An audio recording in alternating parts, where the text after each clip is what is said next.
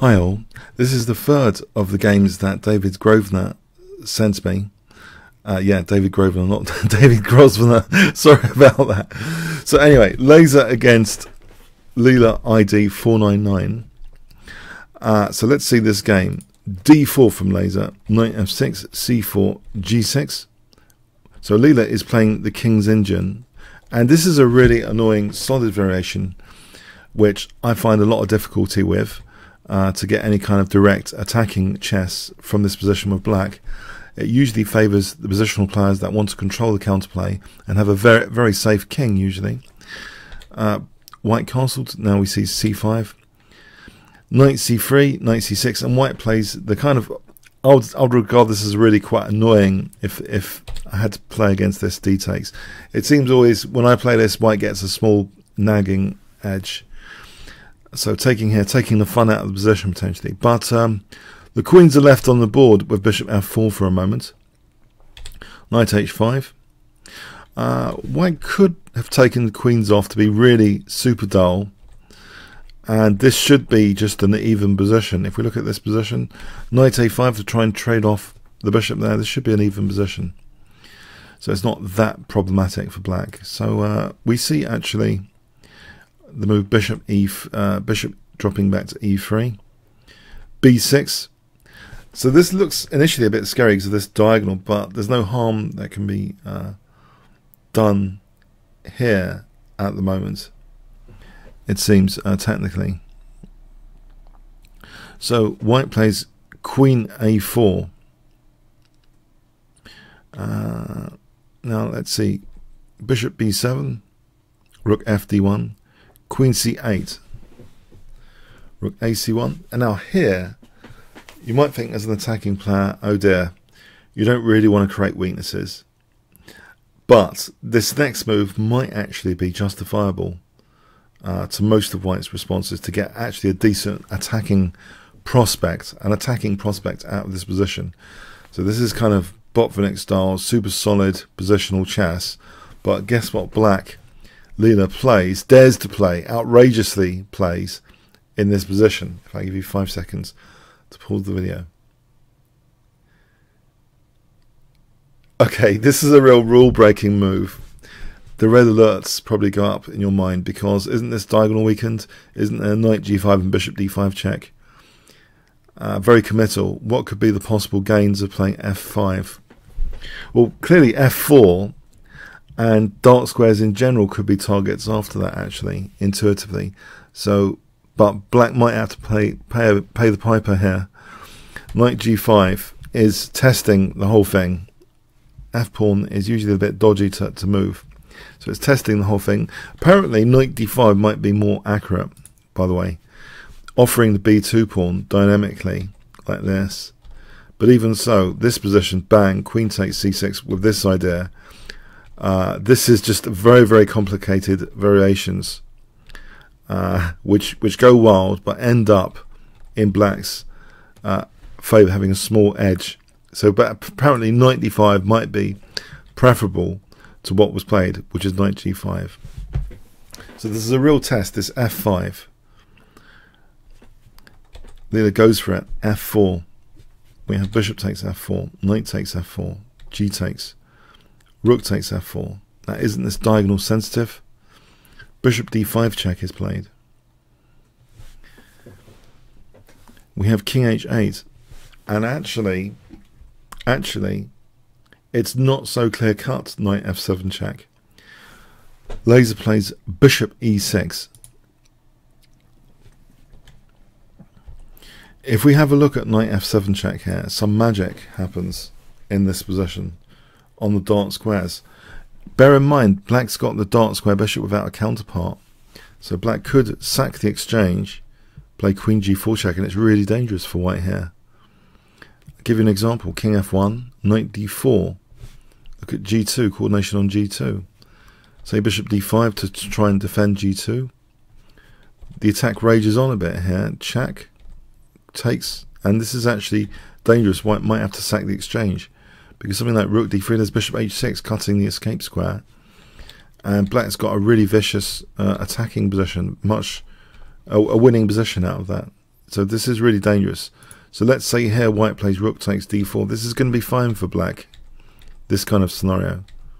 It's very, very dangerous. There's no queen d4 because queen takes that pinned pawn. This is absolutely excellent for black, this position. Big advantage. So it seems as though uh, tactically this is this is justifiable to sack the exchange. Yeah, uh, let's just review that again, just for a moment. In King King H1, which looks a bit dodgy, but Queen F4 here, believe it or not, is a key move. It hits the bishop, it ticks that box for hitting a bishop with tempo, but supports bishop e5 hitting h2, to which white is not poised to defend h2 in this position. That's a massive justification for the whole f5 f4 concept to break down the dark squares possessing possessing the killer dark square bishop without the counterpart. So concretely, h2 is really hard to defend here. Bishop d5, bishop e5. This is just end of game, really. This position, black's just crashing through. Uh, white's trying to ha having to avoid getting mated, uh, but just ends up losing a rook. Yeah, it's it's just totally diabolical. Look at the pressure on the f file, etc. Something like this. Queen h2. So the whole concept of f5, f4, it's, it seems really quite exciting. So actually white played bishop e6. That might have been better with king h1, might have been. So for example like this. This variation is uh, is maybe more interesting to white. It's a bit unclear. I'll leave it as unclear. So anyway, so bishop e6, queen b8 is played. Here, in this position, similar ideas. h2. h2 is a major, major target in this position, justifying the whole f5 concept. White does play knight f7. So we have very similar ideas now. Queen f4 with tempo on the bishop and bishop e5 to follow. Bishop d5, bishop e5 yeah, as we saw, this is really dangerous, and it's really dangerous here. Qu queen, uh, queen takes h2, rook f8 threatening mate, rook c2. But now here is like a move, a science fiction move. I can only describe it as a science fiction move. It has seriously vast, deep implications. What is played here, it's unbelievable. I mean, this is going well into potential endgames uh, and assessing those as well. This is real depth from Leela, this next move. Can you guess what black plays in this particular position? If I give you five seconds to pause the video.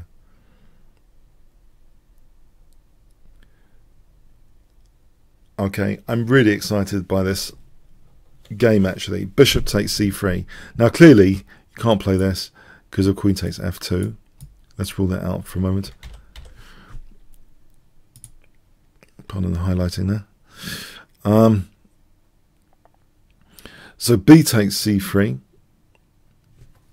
And what's the idea, you think? Beautiful, beautiful move in this position. If I give you five seconds. This is really celebrating piece coordination on a dark square focal point. So it was h2 before, but now it's f2. Knight e5, just offering an entire bishop here to get in this knight g4, threatening horrible things. White plays king e1. Now there are a lot of variations. Check out the variations uh, link I'll give you in the pinned comments of this video or in the description of the video. And they're nicely indented, by the way. Check out the variations. Really cool stuff here. So king e1 was tried. Rook takes f2. Uh, this was the continuation. But let's let's try this. Rook d d2. Give you an example. Taking, queen takes, queen g3, precise moves, uh, will get a winning attack.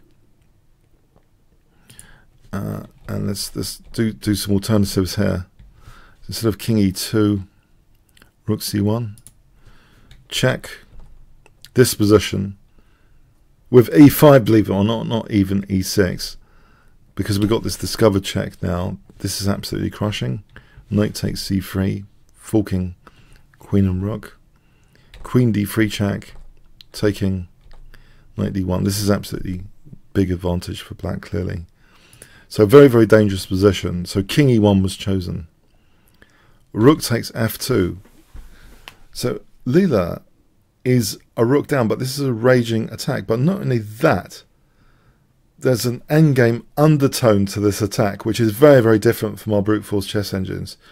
To see the endgame undertone, the bigger, the bigger picture. Here, King G7 takes takes, King D1, Knight takes E3 check, King C1. So black, a rook down, a rook down here is calmly playing, well, Queen F1 check. Now, possibilities here. Rook D1 was played, but doesn't matter if King B2. Knight takes C4 check. Now King, King B3 has Knight A5 check, winning the bishop, with ample compensation for the exchange. Let's just go back there for a moment. Uh, so instead of King B3, let's look at King C2, check. It can be forced, basically, that position. Uh, and on king c1 there, check on f4, and here there's a key move. Can you guess? A rook down, and and this is actually winning for black. A rook down, b5. So if takes, then there's knight a3 check. So queen b3, queen c7. Just a rook down, but casually getting some material back now. And this is enough to secure black. Very big compensation for the exchange. Loads of pawns for the exchange. Black is actually winning there. So all these lines after queen f1 check, yeah, are really dangerous. So white plays rook d1. And this is the magic of this whole thing. Because this position, after knight takes, queen takes, Leela just goes for the endgame. This is the big contextual punchline. This endgame is incredibly difficult for white. All these pawns on dark squares away from the bishop, and they're not going to be victimized anytime soon, unless white chooses to play a6 at some point later. But black just plays h5. Look at this endgame. It's it's very very hard to defend this endgame now. So even though the attack wasn't leading to checkmate, this is a wonderful endgame. Bishop c8 probably accelerates to the end uh, uh, sterner resistance would have been bishop c6 here. But even so, have a look at this as an example. Endgame sequence.